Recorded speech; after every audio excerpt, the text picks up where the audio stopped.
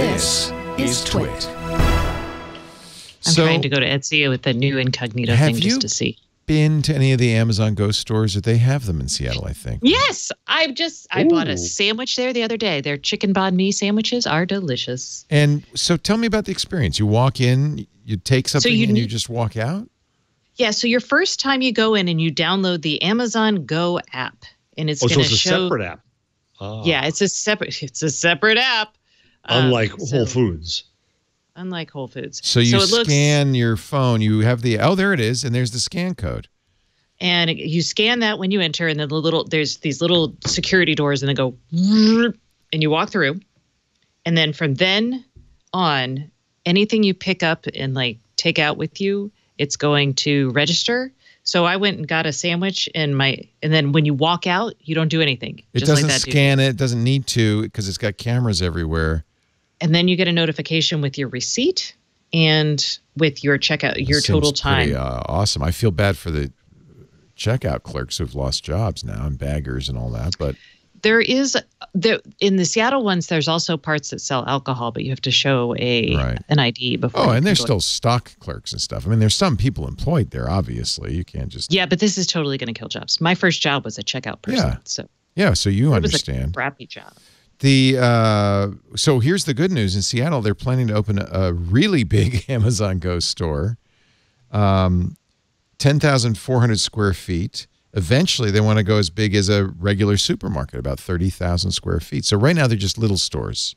They're like uh, 7-Eleven kind of size, right? Um, yeah, it's yeah, it's about that size, but they have a lot of stuff. Like the last time I was in there, I um bought what did I buy? A Tide to Go stick because I spilled something on myself and like a coffee. So one thing retail analysts are concerned about, according to The Verge, is it's expensive. Believe it or not, uh, they wonder whether it's a good fit for the low margin world of convenience stores.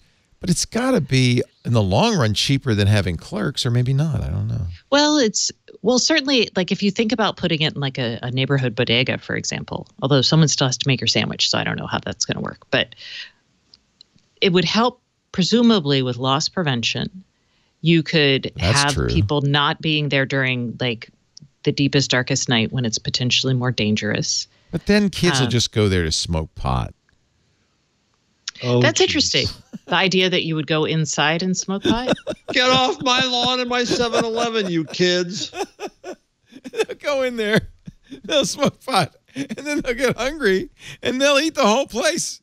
They'll just be Well, then- gone but they- They'll morning. sell pot soon. you you can't get in unless you scan, so they know who you are when you go in. There's cameras everywhere. In fact, that's another thing that And- Verge yeah. says is a potential problem.